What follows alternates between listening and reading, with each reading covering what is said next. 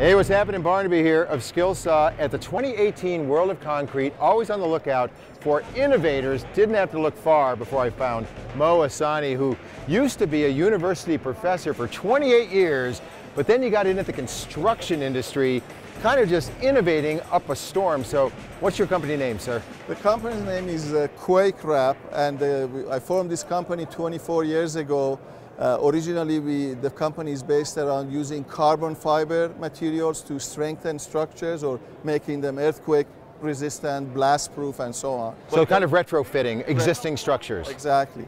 But then over the years, we've developed a lot of new products and you know always uh, learning from our fellow contractors on what they need in the field. Yeah. So this is our latest product that we are for the first time showing here. It's called a Forma-Tube so many people are familiar with these uh, cardboard tubes that are used for uh, forming a concrete column, but those are a one-time use product. Right. This one, you buy a roll of it that comes with plastic PVC sheets, and it's a special design that the edges, like a Ziploc bag, they snap together, so you create your own tube with a small, with a very smooth surface inside. Yeah. You pour the concrete, the next day when the concrete is cured, you peel this off, wipe it clean and use it over and over hundreds of times. And you can also make it in any diameter that you want. So it's very versatile.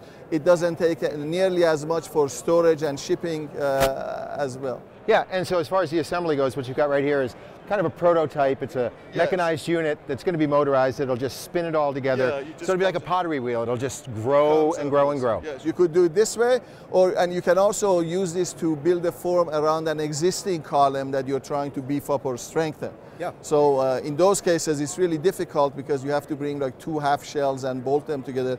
Here, you just start either from the top of the column or the bottom of the column and the jacket you just feed this strip into it and yeah. you create a shell then pour your yeah. concrete. Once you have all the steel hung around it, right, the rebar? Exactly. That's awesome. So you started out as Quake Wrap, and then you, you kept innovating. Now behind me I see you got the Pipe Medic, you got the Pile Medic, you got yeah. all these different things. The big brain of Mo, right?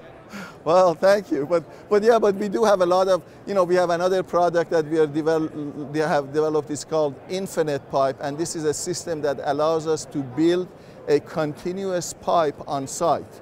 So if somebody needs, uh, say, 10 miles of a pipe, instead of buying it in 20 foot pieces, shipping it, connecting it, and then leaking at the joints, yep. we send this equipment to the field and we make it in the field one long 20 mile long pipe for them. That's what they want. It's that's called, unbelievable. it's called InfinitPipe. So yeah there's, there's uh, yeah. so there's still help for some of us in the academic life.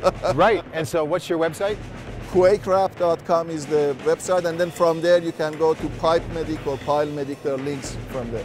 Where once you were a civil engineering professor now he is the Dean of all things construction.